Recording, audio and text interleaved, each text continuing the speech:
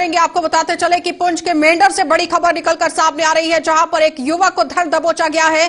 और ज़ाहिर तौर पर आपको यह भी बताते चले कि लगातार बड़ी खबरों की वजह से पुंछ जो है, वो सुर्खियाँ बटोरता हुआ नज़र आ रहा है। डीडीसी चुनाव में हिंसा का केंद्र बना मेंढर में एक बड़ा खुलासा यहाँ पर देखा गया है। और पुलिस ने हिंसा फैलाने की साजिश करने वाले एक युवक को धर दबोचा है। पुलिस ने गिरफ़्तार युवक से हथगोले समेत अन्य हथियार भी यहाँ बरामद किए और युवक के किसी सियासी जमात से भी तार जुड़े होने की यहाँ पर पूरी तरह से जाँच जो है वो की जा रही है। इस वक्त की बड़ी खबर पुंछ के मेंढर से सामने आ रही है, जहाँ पर भारी मात्रा में गोला बारूद आप देखिए, वो भी बरामद किया गया है। हाथ गोले यहाँ पर देखे गए हैं और ज़ाहिर तौर पर उसके साथ ही पोस्टर्स भी कुछ यहाँ पर तस्वीर में आप देख सकते हैं किस तरह से बरामद किए गए हैं इस युवक से। और सीधा संपर्क साधने की कोशिश करेंगे इस वक्त ग्राउंड ज़ीरो से जमशेद मलिक हमारे साथ जुड़ रहे हैं। उन्हीं से पूरी जानकारी लेना चाहेंगे कि आखिर कौन है ये युवक और किस तरह से हमारे सुरक्षा बल आगे की पूरी कार्यवाही करते हुए नज़र आ रहे हैं। जमशेद, सबसे पहला सवाल कि किस तरह से ये पूरा सामान जो है वो बरामद किया गया है और आखिर ये युवक है कौन?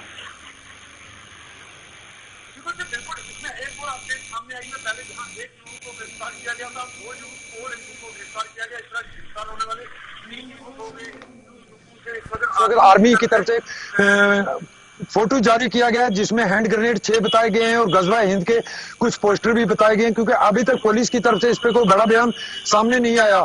मगर जिस तरह सुबह से ही ये कार्रवाई चल रही है, इसमें लग रहा है कि आने वाले वक्त में और गिरफ्तारियाँ आ सकती हैं। हालाँकि एसएसपी पुंछ की तरफ़ से भी एक बयान जारी किया गया जिसमें यह ज़रूर कहा गया कि गिरफ़्तार किए गए नौजवानों में से दो सगे भाई हैं और एक सियासी पार्टी लीडर का जो गिरफ़्तार कर लिया गया जिसका पहले इनके कब्जे से ग्रेनेड बरामद करने की बात की गई थी। आप इनसे गजवा के पोस्टर भी है, वो भी बरामद कर लिए गए हैं। इस पर कुल मिला इस वक्त तक इस मामले में तीन लोगों को गिरफ़्तार कर लिया गया और तीनों का तीनों का ताल्लुक जो पुंछ के मेंढर इलाके से बताया जा रहा है और तीनों से इस वक्त पुलिस की तरफ़ से पूछताछ की जा रही है।